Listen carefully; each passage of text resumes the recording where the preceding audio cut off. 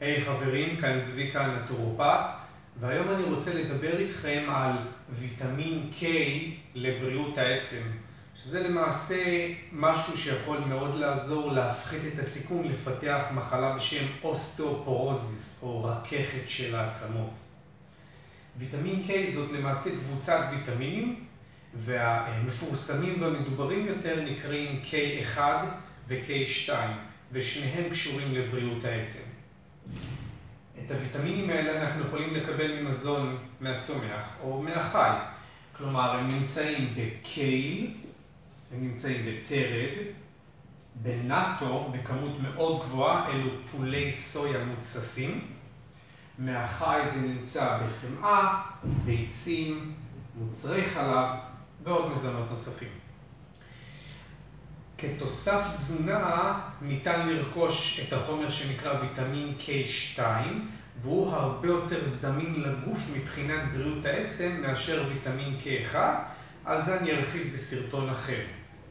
למשל, במחקר שעשו עם נשים פוסט-מנופאוזליות, כלומר אחרי חדלון וסת, מצאו שמתן תוסף ויטמין K2 שיפר BMD, Bone Mineral Density, צפיפות עצם, בעיקר בצוואר הירך ובחוליות עמוד השדרה, אזורים שמאוד מועדים לשבר בקבוצת הגיל הזו. אז מה בעצם ויטמין K יודע לעשות? במיוחד K2, הוא יודע להפעיל חלבון בשם אוסטאוקלצין.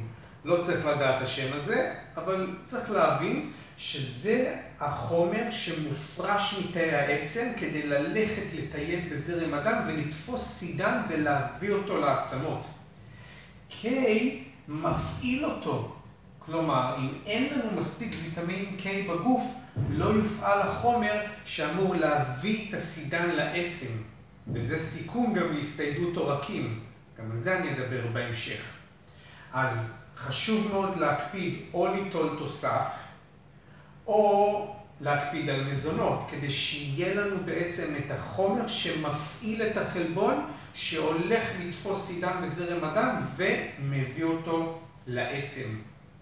לסיכום, ויטמין K סופר חשוב, בין אם זה K1, בין אם זה K2, כי רק בנוכחות שלו סידן אכן מגיע לעצמות וניתן להפחית את הסיכון לאוסטאופורוזיס.